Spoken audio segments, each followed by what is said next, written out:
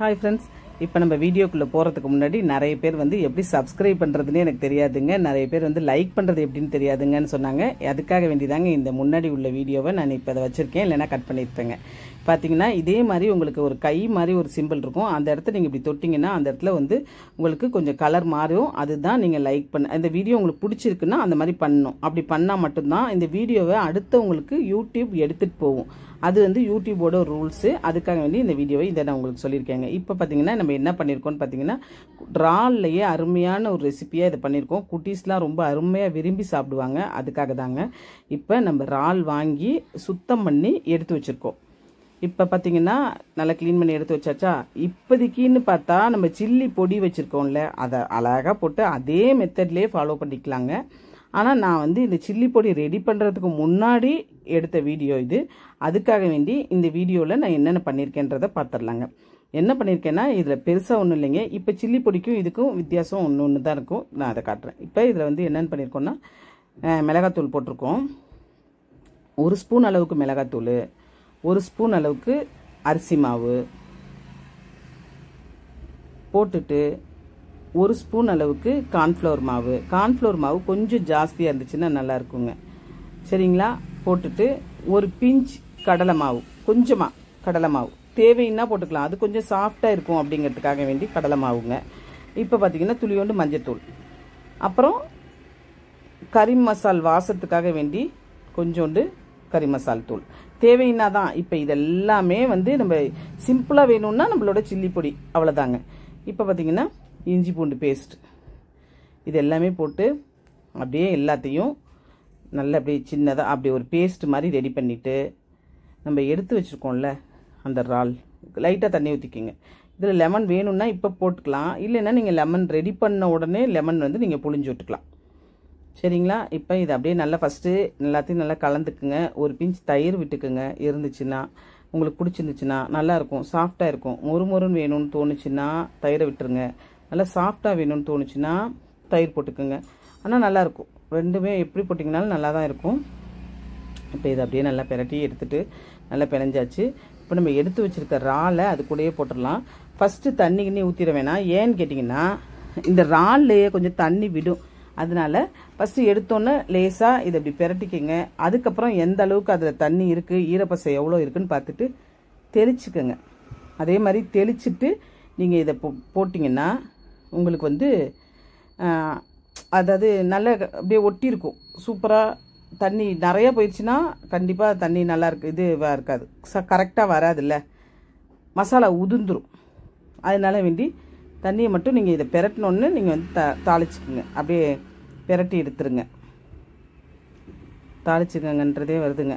இப்போ பார்த்தீங்கன்னா இதே மாதிரியே சின்ன சின்னதாக ஒரு இதை எடுத்து அழகாக நீட்டாக இப்படி குத்தி வச்சுருங்க. சூப்பராக இருக்கும் நீங்கள் நிஜமாலுமே இந்த மாதிரி ட்ரை பண்ணி பாருங்கள் பிள்ளைங்க எல்லாம் விரும்பி சாப்பிடுவாங்க. அப்படி சாப்பிடுவாங்கங்க. நம்ம எப்பயும் செய்கிறத விட இது ரொம்ப அருமையாக இருக்கும்.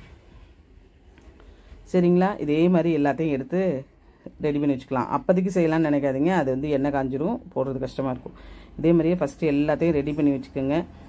சிம்பிளாக சொல்லணும்னா இப்போதைக்கு உள்ள சில்லி பொ பொடி போட்டுக்கோங்க. கொஞ்சமாக இஞ்சி பூண்டு பேஸ்ட் போட்டுக்கோங்க. துணியோட தயிர் தேவைன்னா ஊற்றிக்கோங்க உப்பெல்லாம் இதில் உப்புக்கெல்லாம் நான் என்னோடய மசாலாவாக இருந்தால் நீங்கள் அதே மாதிரி போட்டுக்கோங்க. உங்களோட மசாலாவுக்கு நான் எல்லாமே தெளிவாக சொல்லியிருக்கேங்க. எப்படி ரெடி பண்ணுறதுன்றதையும் சொல்லியிருக்கேங்க.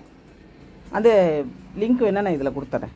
சில்லி பொடி எப்படி ரெடி பண்ணுறதுன்றது சரிங்களா? இப்போ இதே மாதிரி அப்படியே நல்லா எல்லாத்தையும் எடுத்து ரெடி பண்ணி வச்சுக்கலாம். இதெல்லாம் பார்த்தீங்கன்னா நீங்கள் எனக்கு வீடு சரியில்லை அது சரியில்லை இது சரியில்லைன்னு எல்லாரும் சொல்லுவீங்கல்ல.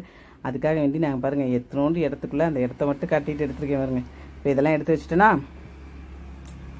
இப்போ அதை அப்படியே அழகாக பொறிச்சு எடுத்துடலாம். ஒன்று ஒன்றையா சரிங்களா? இதெல்லாம் இவ்வளோ பண்ணணும் இல்லை.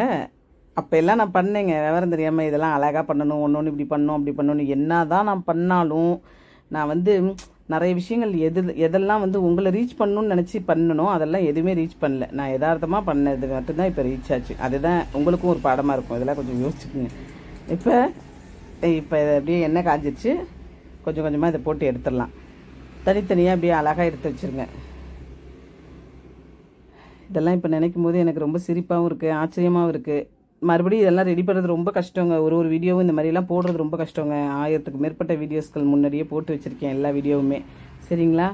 அதனால தான் சரின்ட்டு இப்போ நம்மளுக்கு நேரம் வேற இல்லை. வேலை வேற ஓடணும். இப்போ பொருள் உங்களுக்கும் வீடியோ போடணும். அதுக்காக வேண்டி இதை போட்டுடலாம் அப்படிங்கிறதுக்காக போட்டுட்ருக்கேன். சரிங்களா? இப்போ அது அப்படியே நல்லா வேகுது. திருப்பி விட்டு நல்லா எடுத்துடலாம். ரொம்ப ஈஸிங்க அழகாக நீங்கள் ரொம்ப நீங்கள் இதை மட்டும் நீங்கள் செஞ்சு கொடுத்து பாருங்கள் உங்கள் பிள்ளைங்கள்ட்ட எப்படின்னு நல்ல பேர் வாங்க சூப்பராக இருக்கும். ரொம்ப ரசித்து சாப்பிடுவாங்க. நிஜமாலுமே சின்ன பிள்ளைங்கள்லேருந்து பெரியவங்க வரைக்குங்க. இப்போ இது நல்லா வெந்துருச்சு. நல்லா செவந்துருட்டும். உள்ளுக்குள்ளார மேலே நல்லா முறுமுறுன்னு இருக்கும். உள்ளார வந்து நல்லா சாஃப்டாக இருக்கும். அவ்வளோதான் சரிங்களா? எப்படி மசாலா வந்து பிரியல. அதே மாதிரி தான் இருக்குது பிரியாமல் இருக்குது பாருங்கள் நீங்கள் எந்த ஒன்று பண்ணீங்கன்னாலும் அளவு கம்மியாக கரெக்டாக பண்ணிங்கன்னா தண்ணியோட அளவு கரெக்டாக இருந்துச்சுன்னா மசாலா பிரியாது. சில நேரம் மட்டும் பிரிஞ்சிடும் அப்படி நீங்கள் பெ பிரியிற மாதிரி தோணுன்னா நீங்கள் வந்து கார்ன்ஃப்ளவர் மாவு தயிர் போட்டுக்குங்க. பிரியாது. சிம்பிள் விஷயம் அவ்வளோதான் விஷயம். இப்போ இதை நல்லா எடுத்துடலாம். அதே மாதிரியே எடுத்துடலாம். அவ்வளோதான் அதே மாதிரி எல்லாத்தையும் ஒன்று ஒன்றா போட்டு எடுத்துடலாம். ஒரே மாதிரியே கொடுக்காம கொஞ்சம் டிஃப்ரெண்ட்டாக இருந்துச்சுன்னா நல்லா இருக்கும்ல வீட்லேயும் பாராட்டுவாங்கள்ல அதுக்காக வேண்டி தான் இந்த வீடியோவை நான் உங்களுக்கு போடணும்னு நினச்சிருந்தேன். எங்கள் வீட்டிலலாம் எல்லாருக்குமே எல்லாம் ரொம்ப பிடிக்கும். நம்மளுக்கு செய்யறதுக்கு நேரம் இருக்காது. அதனால் வேண்டி இது எல்லாம் எப்போ போட்டது? உங்களுக்காக வேண்டி போட்டது தான் அப்போ. நீங்கள் பார்க்கலன்றதுனால இப்போ திரும்ப போட்டுட்ருக்கேன். அவ்வளோதாங்க இப்போ அது நல்லபடியாக அப்படியே போட்டு ஒன்று ஒன்றையாக போட்டு எடுத்துடலாம். அப்புறம் நிறைய வரவேற்பு. நீங்கள் எக்ஸிபிஷனில் கொடுத்த வரவேற்புங்க. ரொம்ப சந்தோஷங்க. இப்போ பாருங்கள் நல்லா ரெடி ஆயிடுச்சு. உங்களுக்காக வேண்டி நல்லா டெக்கரேஷன்லாம் பண்ணி எடுத்து வச்சுட்டேன். சரியா? நிஜமாலுமே பார்த்தா எனக்கு சிரிப்பாக வருதுங்க. இந்த வீடியோலாம் பார்த்தா எனக்கு சிரிப்பாக வருது. அப்புறம் என்ன பண்ணுறது போட்டு தானே ஆகணும். ஓகே ஃப்ரெண்ட்ஸ் நம்ம நல்லா இருக்குன்னு நினைக்கிறேன். உங்களுக்கு செஞ்சு பாருங்கள் நம்ம நெக்ஸ்ட் வீடியோவில் பார்க்கலாம். சரிங்களா? பாய்